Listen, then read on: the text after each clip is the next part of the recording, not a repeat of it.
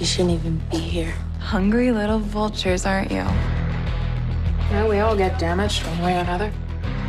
You are throwing it all away for nothing. Keep up with the buzz on suttongrove.wtf.